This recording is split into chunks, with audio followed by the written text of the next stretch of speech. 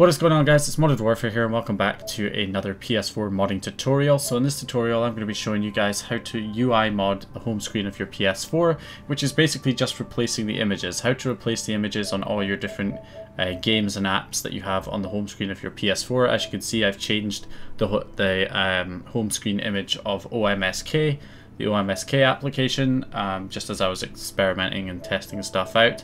You can see I changed it so yeah, that's basically what we're going to be doing, swapping out the images on the home screen of the PS4 for any image you have on your computer. Uh, it's pretty simple to do. Now I have made a application, a little program that does this for you, uh, which is quite handy, and I'll be showing you guys how to use that.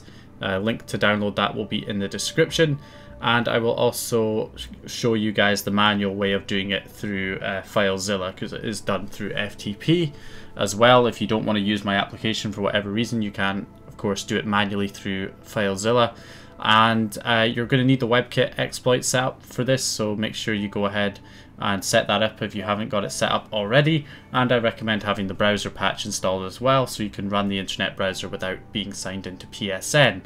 So go ahead and check that out. I'll link them on screen and in the description, the tutorials on setting up the WebKit exploit if you haven't got that set up already. But assuming you have, we will continue on here. So the first thing you're going to want to do is note down your IP address of your PS4 by heading into the settings and scrolling down to network and then view connection status. And you can see the fourth one down is my IP address 192.168.137.23. So note the IP address down in your head because you're going to need to type that in uh, on the computer in order to connect and then head on into the internet browser. If you don't have the browser patch installed then access the WebKit Playground through the user guide in the settings and you're going to want to head to one of the WebKit Playground links. So there's this one here on extrememodding.de. Uh, alternatively, there's a shorter link you can go to which is uh, this one here I believe which is f-x.fr forward slash ps4 forward slash which is a shorter link. Um, so you can access this one, which also has the FTP plus debug settings, which you're going to press X to launch. On the other one, if we just close window on this version, it's down here, FTP plus uh, debug settings, and you press X on that to enable it. Okay, and that is enabled. So now that it's enabled, I'm going to go ahead and transfer over to the computer and show you guys what to do from there. Okay, so once we're on the computer, what you're going to want to go ahead and do is download the PS4 UI editor. This is a little application I made to make things a little bit easier. Um, if you're not familiar with FileZilla or using FTP to do this stuff, I will of course go over that though. Um, at the end, I will go over uh, doing it manually through uh, FTP, through uh, FileZilla. So to do it with uh, this PS4 UI editor, all you have to do is go ahead and download it, run the program. It will, if you've used the program before, it will remember the IP address that you last used. So that'll be stored right there for you. If not, you just type in the IP address. You can see it's got mine already in here, 192.168.137.23. And the port number will be entered for you automatically as well, which is 1337. So go ahead and type in your IP address um, into this box and click connect and you can see down on the right what it's doing. So currently it has to download the image files. Unfortunately this can take quite a while um, to download the image files. I have no idea why. Um, you know, I genuinely I have no idea why uh, this takes so long. It shouldn't take so long, but but it does. Uh, that was not too bad this time, but I am on a wired connection. So what it does is it downloads the image files, it displays them in this list box right here, so you've got all the different image files uh, that you saw on my PS4. And if you want to extract an image, you can right click, replace an image, or extract an image on each one of these. You can also do it through drag and drop, which is faster. So I want to go ahead and extract this image. I can just drag it to my desktop, and the image is now on my desktop that I can go ahead and uh, use for whatever reason or backup if I want to back it up. Uh, it is recommended you make a backup of your original images so that you don't lose them or that you can put them back on uh, afterwards. Uh, of course, you can also back up the images uh, right here. If you click back up images, it'll say back them up to default location. You can say yes, uh, which will back them up to the install directory in the temp folder in the install directory of this application. If you say no, then it will ask you where you want to go ahead and save it. So I'm going to select this uh, backups folder I created and just uh, tell it to save it in there and it'll say backup completed And then we can go in here and you can see it has created the backup right here with all the folders and the image files are in each one of these folders. So you can back that up, um, which is recommended to do that before you make any changes to the images. And to actually replace the images, as you can see here, I've got my two YouTube um, logos. This is my old uh, YouTube avatar from, you know, a few couple of years ago. And this is my current uh, YouTube avatar. So I'm going to change maybe the Playroom and this uh, OMSK icon to my two avatar images. Now, as you can see, the image files are uh, almost the right size. They're 500 pixels by 500 pixels. Uh, you don't have to worry about resizing the images in this tool. It will do that for you automatically. The default images for the home screen are 512 by 512 pixels.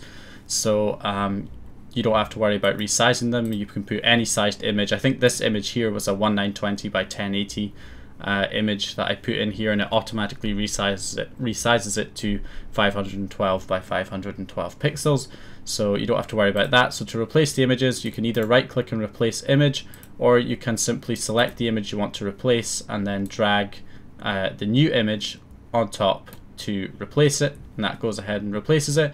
And let's replace the playroom with the other avatar image. So I can do that.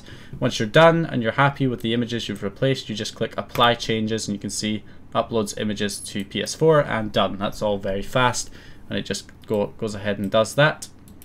And that's it. That's the images replaced. So in order to actually apply that um, that is applied, but you will not notice anything change. If I open up my capture card here and I just back out of uh, the web browser, you'll see that the images haven't changed and they will not change until you restart the PS4. So I'm going to go ahead and hold down the power button of my PS4 and turn it off. And when I turn it back on, the images should have changed. So there we go, switching off now. Okay, so we're booting back up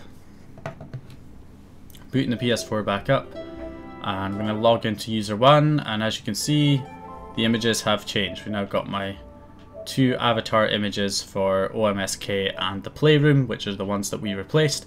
So that is how you do it using um, my little PS4 UI editor the little program. But if you want to do it manually, then I'm going to go ahead and show you guys how to do that through FileZilla. The advantage of doing it manually is you can also change the background images. The background images are the images that are loaded when you actually uh, load one of these. Like if you load um, a game or the playroom, there's a little background image that displays while the actual application or game is loading. And then once it's loaded and starts actually launching the game or launching the app, uh, the background image disappears. Um, which is why I don't really think there's much point in actually changing the background images because they only appear for a few seconds while the application's actually loading. Um, but if you guys do want to change that, I'm also going to show you how to do that manually as well. So let's head back over to the computer and I'll show you guys how to do that manually. Okay guys, so back over to the computer here, I'm just going to close this application now. So in order to do this manually, you're going to have to get an FTP client like FileZilla um, or WinSCP or something like that. You want to go to the site manager and create a new site. As you can see, I've already got PS4 added here, but um, again, just for reference, I'll show you how you do that. So you go ahead and click new site, enter something like PS4, and enter the IP address of your PS4 into the host. So mine was one, uh, 137.23. Enter the port numbers 1337. Leave everything else as default and click OK and then just select it from the drop down menu and it will connect to your PS4 and of course it won't because I have not actually even loaded the uh, WebKit exploit and actually enabled the FTP function. So that would definitely help if I went ahead and did that. FTP server, enable, and that should be us working now. Uh, as you can see, I've loaded that back up. So let's go ahead and try that again, connect, and we are connected to the PS4. So the location of your image files are in user, app meta, and then these are the folders that contain your different images. Each folder represents a game or an app that's installed on your PS4. So this one here is OMSK, and then I'm not sure which one's which out of these three, but you can always just go in to the folders and extract one of the icons to check. Uh, so you can see this one here is the Playroom image uh, that I've replaced with my old uh, avatar picture. So if you want to do this manually and swap this out, say I want to swap uh, this image for uh, this image here, uh, then what I can do is to do it manually you have to resize the images. So you'd have to open it up in say paint. If you have paint installed well you will have if you're on a Windows system. And then you drag the image that you want to uh, replace you want to drag that into paint and then you're going to go to resize you're going to go to pixels and you're going to select 512 by 512 I see this one's already set to 512 and 512 but if it wasn't you set it to those numbers 512 512 for horizontal and vertical. You click OK and then you would just save it. And then once you've got it to the right size you can just uh, delete the original image drag and drop your replacement image in and then rename it to uh, icon 0 so it's icon0.png so I'll change this to icon0.png and that's how you do it manually um, so that is how you do that. If you want to go ahead and change the background images, if I extract one of these uh, pics, and in fact the background images are pic1 uh, .dds, not PNG. The PNG will look the same, it will be the same as the background image. So you can see this is the background image for the Playroom. Um, so that is not the one that's actually displayed though. It's the actual DDS file that's displayed. It's kind of weird with the home screen images, it is the PNG that is displayed, but with the background images, it's actually the DDS file that's displayed. So for uh, pic one, so for your backgrounds, if you want to change the background, then you would have to uh, change it to a .dds file. So let me find a background image that I could use. Okay, so let's say I wanted to go ahead and use this image of um, of Apparition Net Studio because uh, this was just one of the only images that I could actually find. Uh, so we've got the size here 1199 by 600 pixels which is the wrong size. The background images if you're going to change the background images then you're looking for uh, the size to be 1920 by 1080 which is the size you need for a background image. So what you need to do is download paint.net. I'll link it in the description. It's a free application. Um, you can use Photoshop, I think, but you might need a DDS plugin for Photoshop if you're going to use that. Um, I know there's a, a, NVIDIA plugin for Photoshop that allows you to save as DDS, but I'm not sure if they've updated Photoshop since then and if it natively supports DDS now, I'm not sure. But Paint.net does natively support .dds and it's free. So what you want to do is just drag your image into Paint.net and then go to image, resize, and then change it to 1920 by 1080 if it's not already on 1920 by 1080. So 1920, 1080, okay.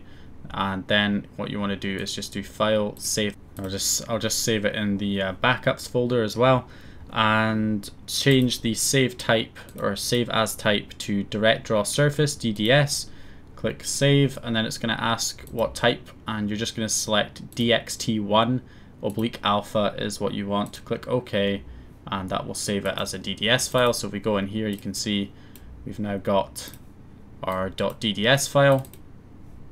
So we can open that up. You can see it's the image. And then all you want to do is rename it to pic1. So it's pic1.dds and then just drag and drop and replace the original image with your uh, your modified one or your, your, your new image. Okay, and that is how you change the background images as well. So that is how you do that. So I don't know, I was initially not sure if I was going to release the little PS4 UI editor. I am going to release it, I am going to put it in the description because I do think um, see, my biggest gripe with the pro this program I've made is how slow it takes to download the images, which I've tried to fix, and unfortunately, it is just slow. There's nothing I can really do to sort that. So it takes a while to download the images, but overall, I do think it's faster because you can, once it's populated the list with the images, you can swap out with swap it out with new images really fast, and you don't have to worry about resizing the images because it does that all automatically for you. So I do think it's worth uh, releasing it. So I hope you guys. Uh, will find that useful, uh, this little program. If not, there's always the manual way through FileZilla that you can go ahead and do as well. Uh, you just have to resize the images manually, but it does work all the same.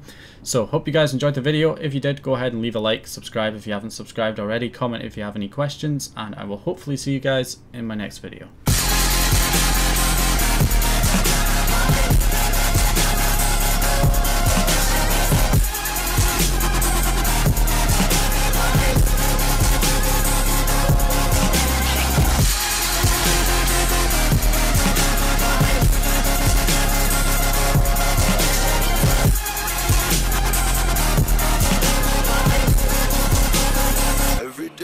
Shuffling.